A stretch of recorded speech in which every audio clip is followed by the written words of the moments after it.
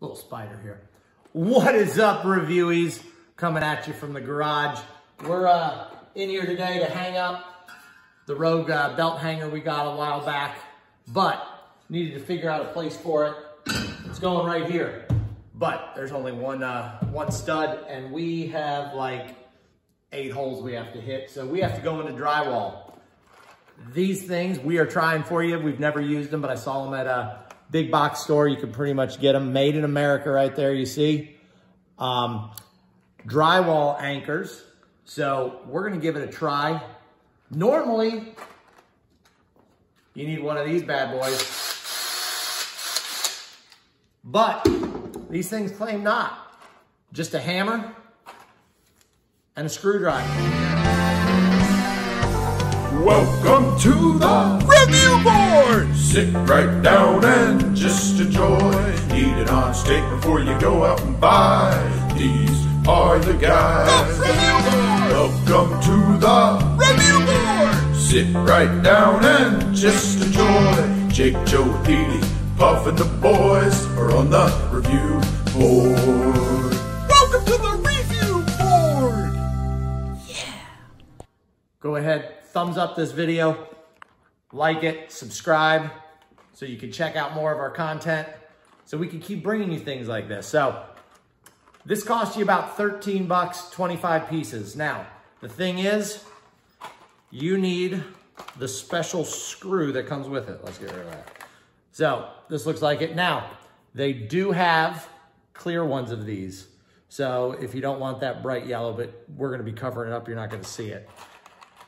You need the special type B flat screw that comes with it. This is one and a quarter inch. Now you can use any type B flat screw. Let's uh, see if this works. You need a toolbox or a tool belt. No, because if you have a toolbox, then that means you have more stuff you have to do. Jeez, I had one. We let, we let Puff keep those things. All right, Puff's really handy with them. So uh, thanks, Puff, appreciate it. Where's he at for this? All right, so come around this side because you got to see it. I don't have really a bad side, but you know. So I've already went ahead and marked out the holes where they need to go. Um, so we're gonna see. You just put this in and these little uh, flaps go in. I don't know, I've never done this. Normally I do it the other way. Oh, key, there's an arrow on this. Do you guys see that? Arrow up, I believe the instructions said. So good thing, there's a little arrow at the top.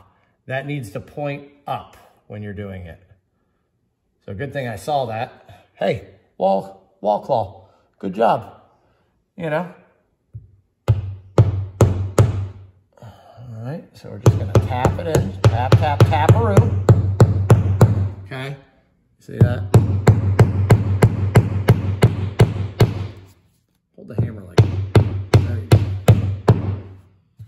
Okay, so we're just gonna do that. Now, supposedly, when we screw that in, that's gonna expand back there. You can use this in half inch or 5 8 inch drywall. Let's do another one.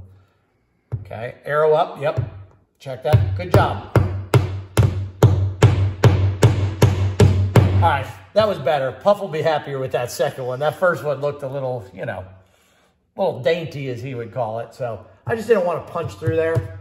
So when you use this, it supposedly expands it. So the flathead, and I'll go ahead, I won't make you uh, watch all of it. So when you put that in there, it does its job. So I went ahead and got some washers so I can hang that up. So I will uh, save you the time of watching all this part because with the magic of editing, you guys will just see like, bam, it's up there. Yeah, not that fast, but you know. So far, pretty good. That's way nicer than, you know, normally you got to drill out the hole, you know, get the drill bit, flip it around, put the screwdriver on, and then get the hammer, tap the next one in. So if this holds, you know, it's going to be nice. All right, so that was actually pretty quick. Total time for me to put that up was like seven minutes uh, for eight screws, lining it all up. Did use the drill to get it started. I went nice and slow because hand cranking was uh, gonna take a while. and then just finished it off with the hand uh, screwdriver. Um, so like Puff says, in fishing, if it ain't chartreuse, it ain't no use. You can obviously tell, um, you can't see it anyway. We went ahead, I threw some kettlebells up there. It's not designed to hold kettlebells, um, but we've got 25 pounds on this side, 20 on this side. It's for bands, you know, it's for belts. This is review board belt there, you know. Um, so we're not gonna hang kettlebells here, but you can. I mean, this says if it's in, you know, this is why you check out the review board. We do things like that. That was the first thing I put up there. I'm like, it's either gonna hold or not. It's gonna be great television.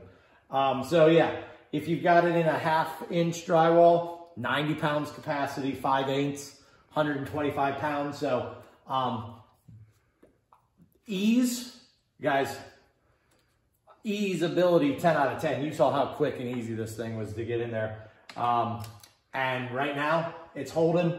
We'll see how long-term this is, but uh, I'd check this out. This is a definite I'd buy again. And they say to take it out, um, just back your screw out and then just hold on to it and pull it and you'll have the hole about the size of a nail and then those two little wings will be in there. So it is supposed to be able to be removable as well. So that's cool. Um, so check it out. Pretty good product so far. Um, got, got our Rogue belt up, belt hanger. So uh, we get to clean this mess up that we've got going on here. Guys, thanks for checking us out. We appreciate it. Uh, all you reviewees help us out, so go ahead, subscribe to the channel if you haven't done so. It really does help. We're at 356 and growing. Let's go. Come on, and remember, around here, if no one's told you today, you're a 10 out of 10. Let's go.